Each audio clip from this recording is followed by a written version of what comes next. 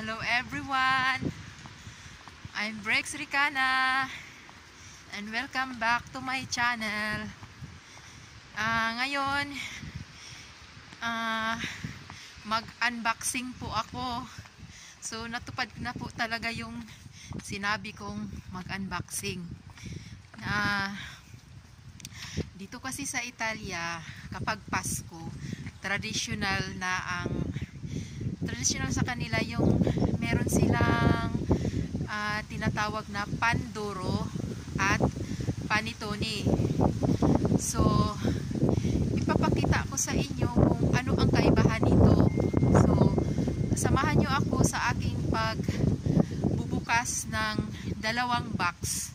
So, una, pupunta muna ako sa tindahan para bilhin ito. So, tara, let's go guys!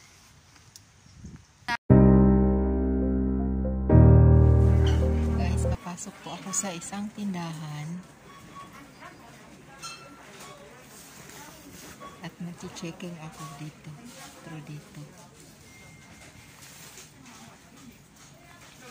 So, titingnan ako ngayon kung ano yung ano yung tinatawag na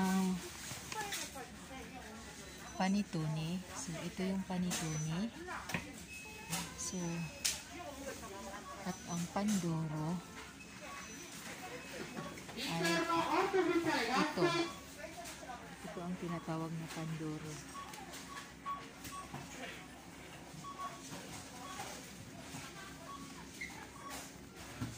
So, kukunin ko yung pinakamura dito.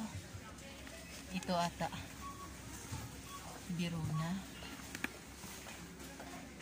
At para um, i-compare ko siya sa panitone. Kukuha rin ako ng isang panitone.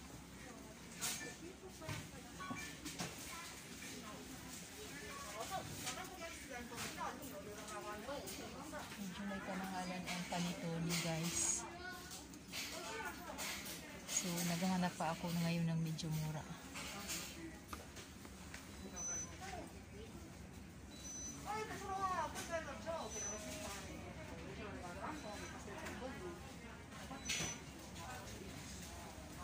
So, ito ata siya. Ito.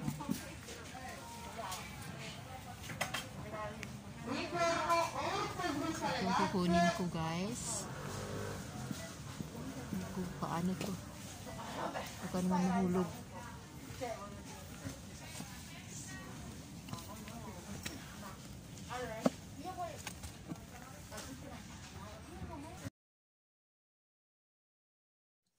So guys, mag-unboxing na po ako. So sa aking nabili, kanina i-unbox ko na po siya. So bago ang lahat, i-explain ko muna sa inyo kung anong klase itong tinapay or cake.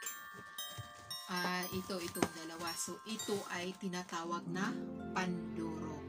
So ang panduro, ang duro is means uh, in uh, English, smooth.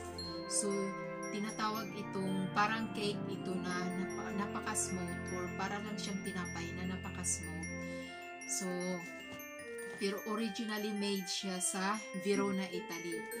Ang Verona, Italy, eh, alam naman na siguro ng lahat na ito yung lugar ni Romeo and Juliet, history, love story. Uh, at saka ito yung tala doon talaga to sila yung unang gumawa doon. Sila yung original original na gumawa ng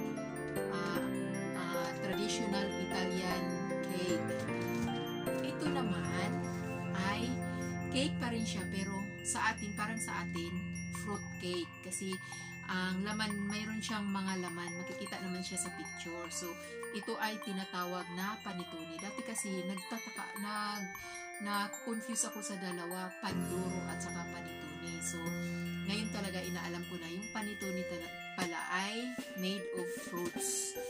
Tsaka ang panduro is tinatawag ito ng Italian na yellow cake. So, kong buksan ay itong panduro. Titingnan natin kung ano talaga yung ano talaga siya. So, ito na po. Bubuksan ko na po siya. Pero una, baliktad ito pagbuksan kasi dito yung ano, dito yung para bubuksan siya. Ito po.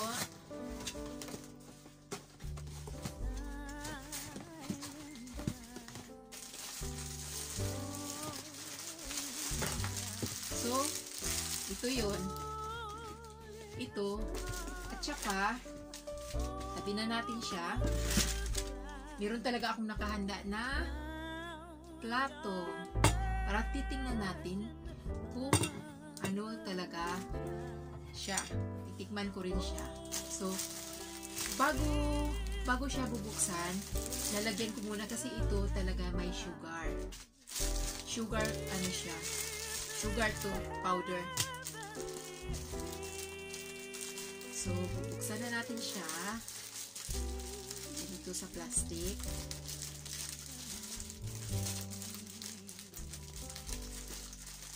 Ang tagal naman ito. Para ngayon, papasok siya.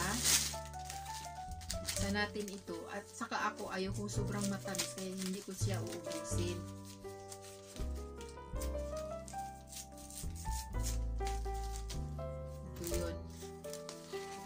Pinakakataba din ito.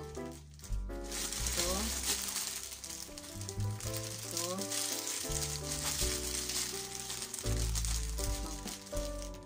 So, hindi ko siya ubusin kalahati lang. So, guys, kailangan ko itong kakainin na pagka nabuksan ko. Hindi ko sana bubuksan kasi lang iba-vlog ko sa kasi siya eh. So, ito. Ito yun. Pagka panduro, panduro, may, may talagang sugar powder siya. Ito. So, ngayon, titikman na natin siya. Hindi ko siya alisin sa plastic kasi ayokong makalat mga sugar. May sugar. Tikman pa sin siya na ano. So, ganito yung pagkahiwa ko. Ito. Kasi meron na siyang layer, oh. Meron talaga siyang layer. Maano kasi yung ilaw.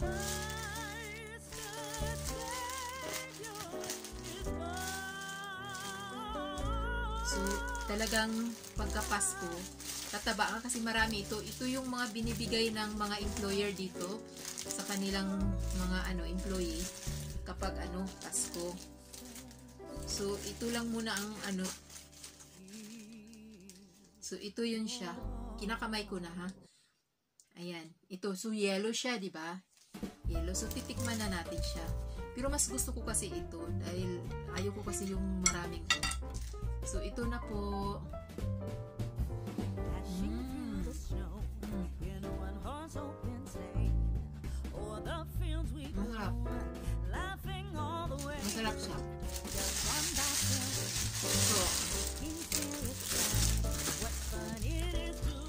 Magbubukas na naman ako sa isa, yung panitone. Wait, so, ito na po yung panitone. Panitone, maano kasi yung ilaw. Ayan. So, na-explain ko na sa inyo na ang panitone ay made of fruit. So, kung sa atin pa sa Pilipinas is fruit cake. So, bubuksan ko na siya ngayon. Kasi ito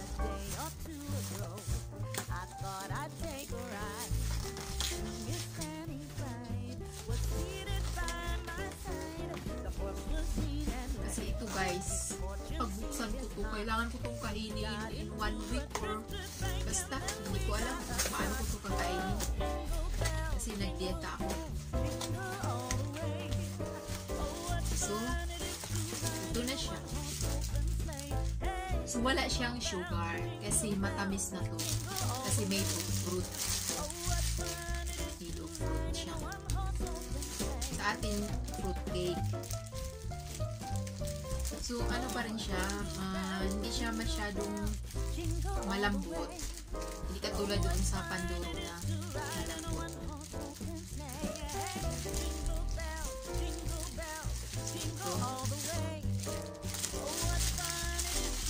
Labas ko siya kasi wala naman siyang sugar. Napakita ko lang.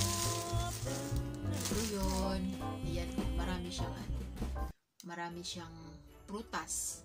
So, ang paghiwa nito ay ganito lang. Masali talaga yung ano niya kasi may ano siya oh. May anong tawag nito, yung parang papel. So, ihiwain ko siya para makita ninyo naman kung ano yung laman.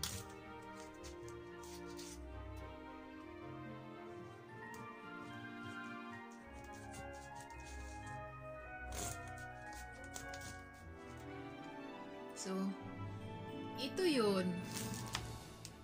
Ito yun. May, may ano siya. May mga ano siya sa ano. Kunti lang ang hiniwa ko.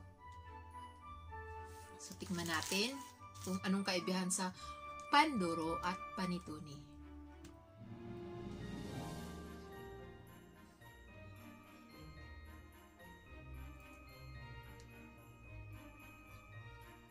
Masarap din siya. Masarap. Masarap pero ano, mm, hindi siya masyadong matamis kasi ang nagdadala sa kanya ng tamis yung mga prutas na nakalagay. So guys, uh, explain, uh, sasabihin ko sa iyo ulit na ito ay Italian traditional cakes. Ito, hindi na siya buo, hindi ko na siya ilabas sa plastic kasi may sugar. Ay magkalat. So, I hope uh, makadalaw kayo dito sa Italy. Hindi, alam nyo na yung ano, alam nyo na yung kung ano yung mga traditional food nila. Kasi dito din, ang pagkain dito, pasta, dito ang nangunguna sa pasta, dito ang nangunguna sa pizza, di ba? Sila ang ano, at saka dito sa tinitiran ko talaga sa Napoli is Napoli is uh, siya yung unang city na sa buong ano sa buong history siya ang naunang city. So dito rin ang naunang gumagawa ng pizza kaya kaya ang Napoli is tinaguri ang uh, the first uh, Napolitano pizza, the original pizza. So uh, bye bye for now. Thank you for watching and please don't forget to like, share, ring the bell and subscribe kung hindi ka pa nasa, naka-subscribe. Bye! Bye! Guys, I hope you enjoy watching my video. So, see you in my next video. Isa na namang mga amazing place. Ipapakita ko sa inyo. Bye-bye!